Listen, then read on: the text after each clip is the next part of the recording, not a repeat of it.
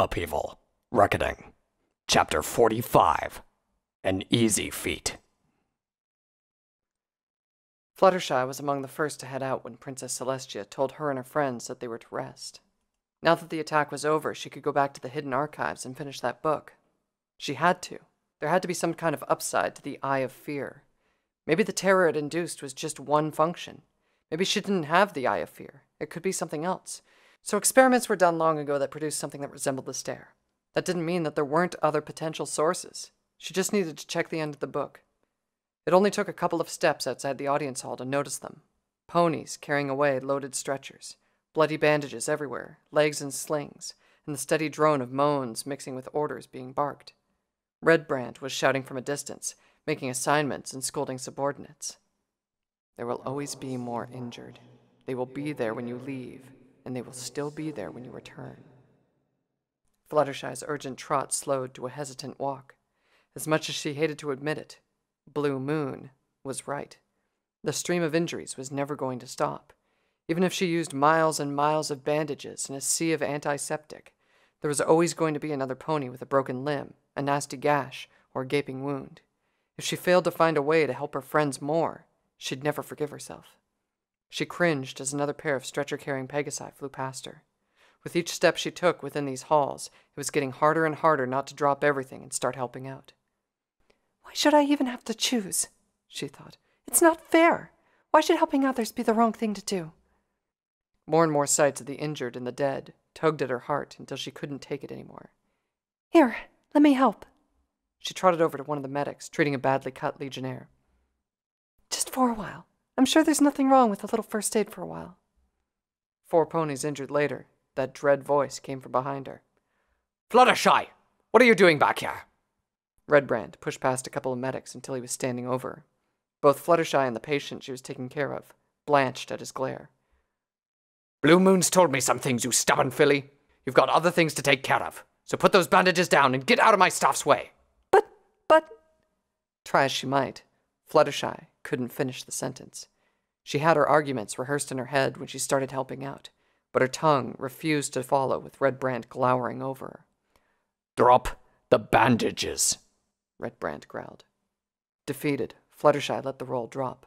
She was about to walk away when she felt a twinge of resentment. She glared at Redbrand. How can I just walk away from this? One hoof after the other, Redbrand replied. He picked up the fallen roll and placed it in one of his saddlebags. Easy for you to say. No, you arrogant filly, Redbrand said. It's not. He held her gaze sternly. Fluttershy remembered the eye of fear and tried to look away, but doing so would be a terrible insult to him. There isn't a medic here who doesn't wish he could make all the hurt go away. Don't think you're something special for wanting that. But we know our parts in this. We know what we can do. You don't, element of kindness. You're meant for more, so stop wasting your time. Stop! Fluttershy started to sob. Don't call me element of kindness. He didn't turn away when Fluttershy leaned on him. And what's this blubbering about this time? Redbrand asked. His voice softened. He didn't turn away when Fluttershy leaned on him, tears trickling down her cheeks. He looked over to some of the medics and glared them back to work. It's the Eye of Fear, Fluttershy said between sobs. She told the whole story Private Pansy's true nature, the Grey Wing elite, the experiments. She garbled it all horribly with sobs, sniffs, and hiccups. By the time she reached the end of it, however, the doctor was pushing her away with his forelegs. Well, isn't that tragic? Redbrand said. Fluttershy looked up in shock. There was no grudging empathy under the old stallion's gruff tone. Not this time. Your stare induces terror within its victims, Fluttershy. Where did you expect it to have come from? Some land of chocolates and honey? The tears stopped flowing, not out of any relief, but because surprise overwhelmed everything else. I don't feel sad for you at all, Wallflower. So you found out you've got bad parts in you too. That even bearing the element of kindness doesn't make you the king's gift to all living things. Too bad. You have to do what you can with what you have, just like the rest of us lowly mortals. Fluttershy's ears flattened. How dare he? Here she was, trying to seek some comfort as he goes off, as if he had any idea what. Stand up straight, Redbrand said. And stop crying. So, what if your evil eyeballing actually was evil? They're still your weepy tears, not that idiot volunteer's. He gave her a shake before letting go. Stop fussing about where it came from and start figuring out where you can take it. Fluttershy swallowed hard, as if a physical action could get the last bits of resentment to back down completely. You're right, she said. She straightened herself out, wiped away the last tears, and took a step forward. She smiled at Redbrand. Thank you. Again. Bah! Redbrand turned away and walked towards the paramedics. Fluttershy watched him for a while before galloping off. She ran past more injured, but they tugged at her heart less. There were plenty of ponies helping out. The Legion's medics were handling the attack well. Canterlot's doctors and nurses were also among them. They had this under control. She stopped only at the sight of Blue Moon by the main doors. Blue Moon remained a disconcerting sight. It wasn't just his very feminine appearance. She had seen the other thorns, Sablesteel darting into the fray with blades and a stinger like a large metal wasp. Lioncourt, all grace and smiles even as he cut down his foes. Not even the wildest grin and pearliest teeth could hide the predatory nature of Lioncourt's smile, and it was plain enough to see that even approaching Sablesteel was dangerous. Blue Moon looked like a normal, approachable mare. There was something different about Blue Moon this time, though. The band of metal around his horn was gone. His two escorts didn't seem to mind either. Your Hornlock, Fluttershy said. My escorts and I were walking around the palace when the attack happened, Blue Moon said. We were cornered, so I told them I could keep us alive if I could use my magic. One of the escorts scratched his head. Did more than keep us alive, he muttered. They say he killed a hundred Ursins at Sharpstone Bridge. I think they were understating. A lot. Fluttershy smiled. You've earned the Legion's trust. That's nice to hear. Trust would indeed be nice, Blue Moon replied. He lowered his voice. Or they could just be too afraid to put the horn lock back on without one of the royalty around. What about you, Fluttershy? What have you learned? Not much, Fluttershy replied. She repeated her story again, this time without the racking sobs. Blue Moon's eyes narrowed. Loch Horace. That, my sister has read before. Loch Horace, one of the leaders of the Wendigos. This is more serious than we anticipated. He circled Fluttershy slowly. Why would the element of kindness choose a bearer with so much potential for torment? I. I don't know. Fluttershy's throat tightened. Even hearing that she had that potential hurt. She forced her smile to stay. But I'm sure I'll find out more once I get back to the hidden archives. No, Blue Moon said. You've found the link between your stare and the Wendigos. You need a way to harness it, not more history. I doubt Lexarius and his ponies took the time to discover that. What can I do then? Fluttershy asked. Reading about the horrible origins of her stare was bad enough, yet Blue Moon looked like he was about to suggest even worse things. Blue Moon's horn took on a pale glow. At once, his two escorts looked ready to jump him. Stand down, Blue Moon said. I could have killed all of you the moment you took off my hornlock. I could have disappeared and wreaked havoc in Canterlot, if that's what I was here for. If you stop jumping at my every spell, I'll be able to help the elements of harmony. Blue Moon's escorts looked at each other briefly before one of them spoke to him. We're supposed to be guarding you, Blue Moon. We haven't insisted on putting your hornlock on, but throw us a bone here. Explain before casting any spells. I know that Unicorn Guard Captain Shining Armor and Captain Vanguard Clash discovered the location of a trapped alicorn in Mount Unicornia, Blue Moon said. I also know that this trapped alicorn once served Oceanus, and the royalty managed to converse with it. Fluttershy and I are about to do the same. How did you. Even we didn't know all that. A Hornlock and escorts would not have stopped my sister from discovering everything possible in Canterlot, Blue Moon replied. As Legionnaire almost, I am able to do this much. Several thin beams of blue light burst from his horn. They stopped in midair, leaving points of light where they stopped. It looked like Blue Moon was projecting the image of some kind of constellation. After a moment, the points began to expand into a network of lines, forming an outline that quickly resembled something familiar. Canterlot, Fluttershy whispered. She glanced at Blue Moon. Amazing. The other legionnaires stared wide eyed. In a few seconds, Blue Moon's horn was projecting a very detailed, small scale picture of the entire city of Canterlot and Mount Unicornia, right down to individual doors and windows. Blue Moon pointed towards a large sphere of light within the mountain. That would be where we are going, he said. One of the escort's eyes narrowed as he looked at the image closely. Those points of light, he said. Those were places you asked to visit. Referential points, Blue Moon said. I'll explain in detail for you later if you want. However, we have a limited amount of time to help the element of kindness before she heads for the Old Kingdom. Now, will you allow me to teleport her to that place? The other escorts looked to the one who spoke earlier. We'd be cut up corpses by now if it weren't for you, Blue Moon. I don't trust you completely, but I'll stick my neck out for you just to return the favor, especially if it means helping out the elements of harmony. The other escorts nodded. Thank you, Blue Moon said. His horn glowed again and the magical projection disappeared. Initiating teleportation circle. A circle of magical light formed beneath their hooves. Fluttershy nearly flew away at the sight of it, but Blue Moon placed a hoof on her shoulder. Steady. I'm just moving us as close as possible. There's a dimensional lock around the place itself, so we'll have to walk the rest of the way. Fluttershy was about to say something in return, but the bright flash of light left her stunned and silent. When her vision cleared, she was inside a cave. Glowing crystals lined the walls. The ground beneath her hooves felt uneven and coarse.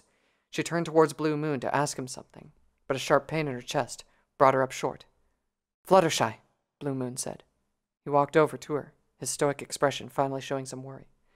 I'm okay, Fluttershy said. Her legs shook, but she forced herself to remain standing. I. she stumbled as the pain increased. It was as if her heart was violently forcing her to move towards a certain direction. What's going on? One of the escorts asked. Is she all right? I'll. I'll be fine, Fluttershy said through grit teeth. The pain lessened when she started moving towards the direction she was being tugged towards. We need to go this way. Blue Moon nodded towards his escorts and trotted next to her. Fluttershy wanted to lean against him, even let him carry her so she could concentrate on dealing with the sharp pain. She refused. Redbrand's scolding still rang inside her head. She didn't want to keep leaning on ponies helplessly while they did their parts. They moved through one tunnel after another, with her at the lead. Halt! Stopping proved exceptionally torturous. Fluttershy's front legs buckled, and she breathed quickly and heavily. Ahead of her were several squads of legionnaires. The unicorns were on the verge of casting spells, the pegasi aimed their crossbows, and the earth ponies looked ready to charge. This place is off limits, one of the guards said. What are you all doing here? Princess's orders, one of Blue Moon's escorts said. Fluttershy could barely hold back her surprise.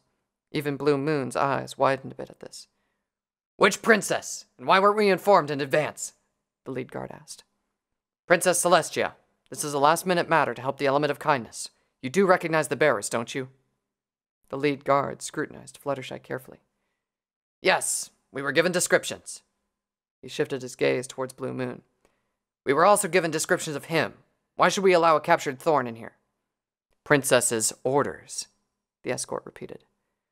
Wait here while we send a flyer to confirm then, the guard insisted. There's no time. The element of kindness is supposed to be resting for their upcoming mission. Look at her. She's ready to fall apart. We need to get through this now. The guards hesitated. Their leader went over to Fluttershy. Are you sure you want to do this? he asked. Yes. Yes, Fluttershy replied. They parted to let her through. They continued to eye Blue Moon suspiciously until they disappeared from sight.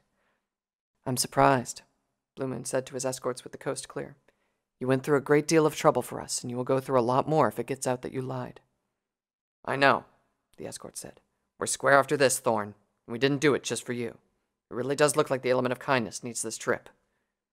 You have my thanks, regardless, Blue Moon said. Don't start getting friendly, you freakishly beautiful stallion. They crossed one more tunnel before coming upon a giant chamber, the only place in the mountain that had stonework instead of natural cavern walls. Now that they were here, the painful tugging disappeared. Fluttershy gasped at the enormous spherical crystal. That must be the Alicorn prison, Blue Moon said. How do you know that? One of the escorts said. Can't you see the outline inside that crystal? This must be one of Oceanus' own. Princess Celestia struck down the one working for General Gravitas, and I doubt the royalty would imprison allies.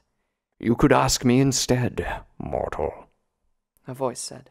It came from the crystal and resonated across the chamber with enough power to send Fluttershy quaking. I wouldn't mind answering. Of course, I have many questions, too.